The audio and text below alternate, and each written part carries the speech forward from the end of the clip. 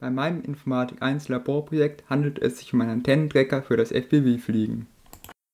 Dabei verwendet man eine Videobrille, um direkt mit dem Bild aus der Drohne zu fliegen. Um dabei die Reichweite zu erhöhen, verwendet man eine Richtantenne, wie diese. Sie müssen immer auf den Sender zeigen, um das bestmögliche Bild zu gewährleisten. Wenn man nicht nur in eine Richtung fliegt, ist dies nicht immer der Fall. Um das Problem zu lösen, habe ich diesen Antennentrecker entwickelt. Er empfängt mit Hilfe eines HC12 Funkmoduls Telemetriedaten wie Position und Höhe des Quadrocopters.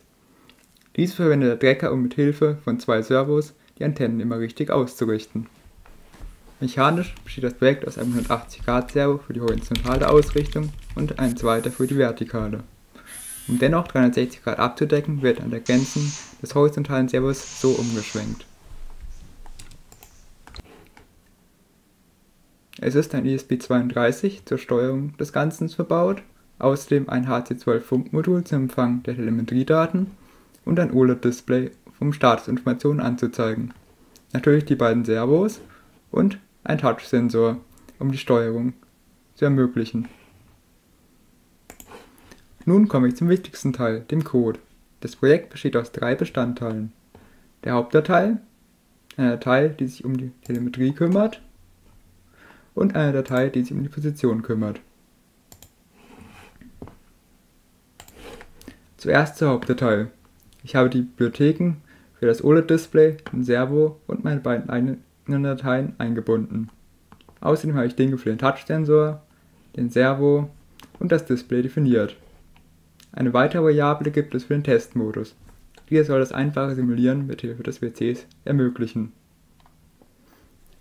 Zudem gibt es noch zwei Funktionen. Eine, um verschiedene Daten auf dem Display auszugeben und eine für den Touchsensor.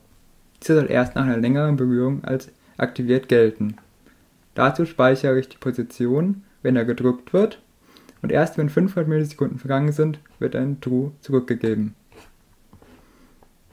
Im Setup wird zuerst das Display eingerichtet, die Servos eingestellt auf die ursprüngliche Position und eine serielle Verbindung geöffnet falls der Testmodus nicht aktiviert ist, eine zweite zum Funkmodul. Im Loop werden zuerst die Telemetriedaten ausgelesen und diese als Position des Quadrocopters gespeichert. Dann wird ein Vektor zum Quadrocopter berechnet, von der Startposition ausgehend. Und dieser um die Ausrichtung des Trackers gedreht, um dies auszugleichen. Außerdem wird dann die Richtung des Vektors berechnet. Nun kommen wir zum komplizierten Teil, der Positionierung des, der Servos. Falls der Quadrocopter weniger als 20 Meter entfernt ist, passiert dies nicht. Falls der Quadrocopter weiter entfernt ist, wird zuerst die Position des vertikalen Servos mit Hilfe des Arcus-Tankens und aus der Höhe und Entfernung des Quadrocopters berechnet. Anschließend wird dieser Wert noch in das Gradmaß umgerechnet. Für die Horizontalausrichtung muss zwischen zwei Fällen unterschieden werden. Wenn sich das zu folgende Objekt vor dem 180 Grad breiten Feld des Servos befindet, berechnet sich die Position aus der Richtung zum Quadrocopter und der ursprünglichen Ausrichtung des Servos. Da sich Norden entweder bei 360 oder 0 Grad befinden kann, muss nach Modulo 360 gerechnet werden. Falls sich das zu folgende Objekt hinter dem Bereich des Servos befindet, ist die horizontale Ausrichtung 360 Grad minus die Richtung zum Quadrocopter und der ursprünglichen Ausrichtung. Da der vertikale Sensor nur nach hinten zeigt, muss dessen Wert invertiert werden. Anschließend werden die Servos noch nach den berechneten Werten eingestellt und die Informationen auf dem Display ausgegeben. In der LTM.cpp-Datei, LTM steht für Lightweight Telemetry Protocol, wird die Telemetrie ausgelesen. Der Code basiert vor allem darauf. Ich habe nur eine kleine Änderung vorgenommen. Dies ist die Einfügung eines Testmoduses. Falls dieser aktiviert ist, wird von der seriellen Schnittstelle meine Daten, welche ich mit einem anderen Programm übergebe, ausgelesen. In der Position Header Datei habe ich zwei Structs definiert, einmal für Vektoren und einmal für Koordinaten und verschiedene Funktionsprototypen definiert welche in Position.cpp implementiere. Darin kommen drei einfache Funktionen zum Einsatz. Einmal Gradmaß im Bogenmaß, Bogenmaß im Gradmaß und das Invertieren der Werte für den Servo, wobei einfach 180, der maximale Ausschlag des Servos, minus dem aktuellen Wert berechnet wird. Die restlichen Funktionen will ich in der Reihenfolge ihrer Verwendung durchgehen. Zuerst Calculate Vector, welcher den Vektor zwischen der Home Position und der des Quadrocopters berechnet. Dies mache ich mit der Funktion Distance between angles.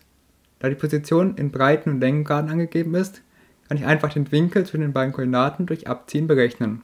Mit dem Abstand zwischen einem ganzen Grad, also zum Beispiel 49. und 50. Breitengrad, multiplizieren. Für die Längengrade muss ich für diesen Abstand statt dem Erddurchmesser den Umfang auf dem entsprechenden Breitengrad verwenden. Die Funktion Direction berechnet die Richtung des Vektors. Dabei berechne ich den Winkel zu der x-Achse, welche Norden darstellen soll. Dieser ist der Arcus-Cosinus des Skalarprodukts geteilt durch das Produkt der Länge der Vektoren. Da der Abstand immer im Uhrzeigersinn berechnet werden soll, muss, falls der y-Wert negativ ist, 360 minus den berechneten Winkel zurückgegeben werden, um den richtigen Winkel anzugeben. Damit fehlt nur die Funktion Rotate Clockwise. Dabei wird einfach der Vektor mit der Rotationsmatrix multipliziert und zurückgegeben. Nun kommt die Demonstration mit Hilfe eines Python-Programms, welches ich zur Simulation geschrieben habe. Es erlaubt mir, die Position und Höhe des Quadrocopters mit Hilfe der Pfeiltasten einzustellen und schickt diese Daten mit der seriellen Schnittstelle an den ESP32.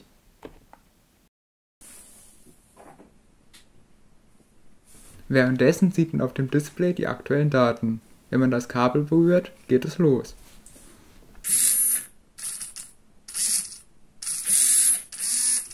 Aus zeitlichen Gründen befindet sich an dem Servo statt einer Antenne nur ein Bleistift. Die Funktionsweise ist dennoch ersichtlich. Bei dem Trecker ist die aktuell linke Seite die eigentliche Vorderseite. Daher ist er als Heading 270 Grad eingestellt. Wie im Vergleich zum Simulationsprogramm ersichtlich ist, zeigt der Trecker trotzdem immer in die richtige Richtung.